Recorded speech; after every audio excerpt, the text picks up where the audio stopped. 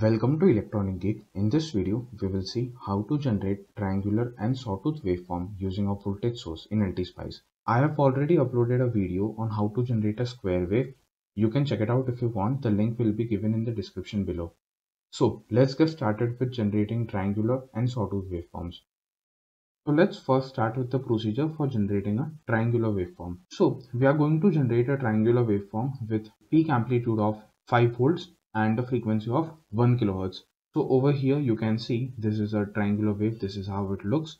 And uh, if you see the x-axis is the time axis and the y-axis is the voltage axis.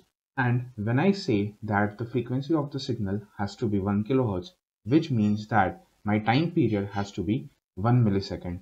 For generating this, you can see that the voltage swing ranges from minus 5 to plus 5 and you can clearly see that the on time for triangular signal ideally has to be 0 because if you increase the on time this signal will start taking a form of a trapezoid and we don't want to do that.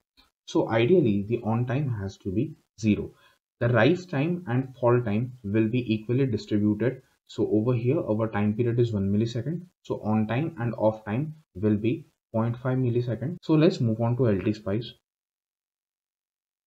right click on this voltage source go to advanced select pulse option.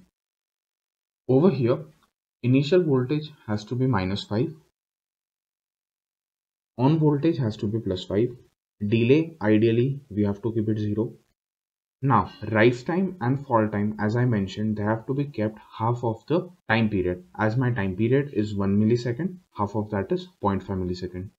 So 0.5 m 0.5 m and on time has to be 0 and period I'm going to keep it as 1 millisecond as my desired frequency is 1 kilohertz.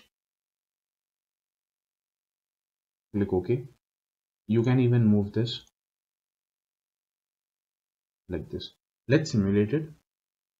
So I will run this for uh, 10 milliseconds which means I'm going to see uh, 10 cycles. So place the probe over here and you can see that a triangular waveform has been generated whose swing is from minus 5 to plus 5 volt and the period for each cycle is 1 millisecond. So like this we generate a triangular signal. So now let's move to a sawtooth waveform. So this is how a sawtooth waveform looks like. Over here we are having the time axis and over here we are having the voltage axis the frequency of the signal again in this case I'm going to keep it as 1 kilohertz and that is the reason why the time period has to be 1 millisecond. So over here we can see that for generating a sawtooth signal the fall time must be ideally 0 and the rise time has to be equal to the time period. So let's make these changes. So right click on the source. So in this case our swing is from 0 to 5 so we will change this minus 5 to 0 on voltage is going to be 5 volts delay that has to be 0 rise time it will be equal to the time period so it is going to be 1 millisecond. Fall time has to be 0 and the other things remain the same. Let's click on ok. Let's run this. I'll keep the probe over here and i'll click. So yes you can see that we have generated a sawtooth signal with swing with voltage swing from 0 to plus 5 volt and a frequency of 1 kilohertz. So like this, you can generate a triangular and sawtooth waveforms. So this is it for this video. Thank you for being till here. Thank you so much. Please do like, share and subscribe to my channel. If you have any doubts or suggestions, feel free to put them in the comment section. Thank you for being till here. Thank you so much.